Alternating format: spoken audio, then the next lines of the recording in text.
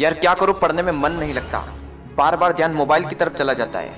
Motivational video का असर पाँच मिनट से ज़्यादा रहता ही नहीं आजकल।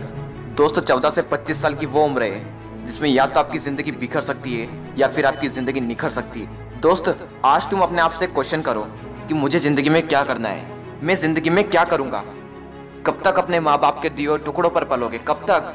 एक बात हमेशा याद रखना, राजा बनने के लिए भिखारियों की तरह मेहनत करनी होती है। और सूरज की तरह चमकने के लिए सूरज की तरह तपना होगा।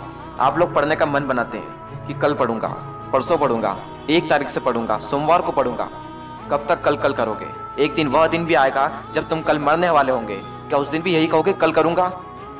जरा एक बार उन लोगों की तरफ़ भी देख लेना, जो तुमसे कई उम्मीद लगाए हुए बैठे हैं। दोस्तों, मैं बात कर रहा हूँ आपके माता पिता की। कितनी उम्मीद लगाए हुए बैठे हैं आपसे, जो आपके लिए जीने मरने को तैयार है, और आप पाँच मिनट पढ़ने को तक तैयार नहीं? आज ही सोच लो कि तुम्हें ज़िंदगी में क्या करना है, वरना ज़िंदगी तो सोच ही रही है कि तुम्हारा क्या करना है। अपने मोबाइल से वो सारी चीज़ें हटा दो, जिनका तुम्हारे गोल से दूर दूर तक कोई कनेक्शन नहीं है। तुम पढ़ाई में कमज़ोर हो, कोई बात नहीं। लोग कहते हैं कि मैं पढ़ना तो चाहता हूँ, पर पढ़ाई में मन नहीं लगता। मैं कहता हूँ, तू थोड़ी सी कोशिश तो कर। अगर तू दो मिनट भी पढ़ पाया तो तेरे अंदर वो फीलिंग आएगी, जो तुझे आने वाले दो घंटे पढ़ने पर मजबूर कर देगी। तू जरा कोशिश तो कर। वो हरिवंश राय बच्चन जी की कविता आज भी उतना ही मोटिवेशन देती है, जितना कि संदीप माहेश्वरी और विवेक बिंद्रा के वीडियो देते हैं। कहते हैं, नन्ही चीटी जब दाना लेकर दीवार पर चढ़ती है तो चढ़ती दीवार पर बार बार फिसलती है। चढ़कर गिरना, गिरकर चढ़ना ना करता है। आखिर उसकी मेहनत बेकार नहीं होती। कोशिश करने वालों की कभी हार नहीं होती। असफलता एक चुनौती है, इसे स्वीकार करो।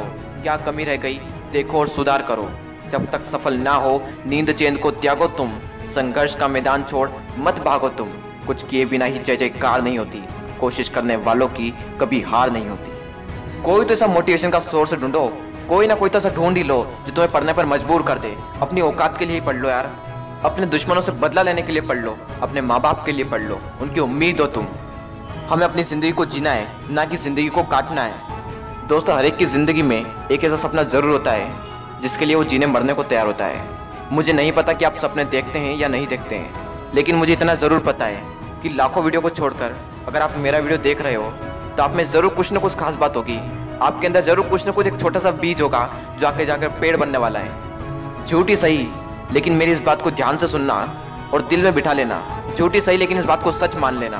अगर सच मान लिया ना तो एक दिन बहुत बड़ा आदमी बन जाओगे यार। मुझे नहीं पता आप कौन हो जो मेरा वीडियो देख रहे हो, लेकिन मुझे इतना पता है कि आप ज़िंदगी में बहुत बड़ा आदमी बनोगे। आप ज़िंदगी में बहुत कुछ करोगे। ज़्यादा टाइम वेस्ट ना करते हुए आज से ही शुरुआत कीजिए। थोड़ा सा ही पढ़िए, लेकिन पढ़ना स्टार्ट कर दीजिए। अगर वीडियो ने अंदर से हिला दिया हो तो चैनल को सब्सक्राइब कर दीजिए और फैला दीजिए इस वीडियो को व्हाट्सएप और फेसबुक पर। अगले वीडियो में फिर मिलते हैं। गुड बाय दोस्तों, जय हिंद।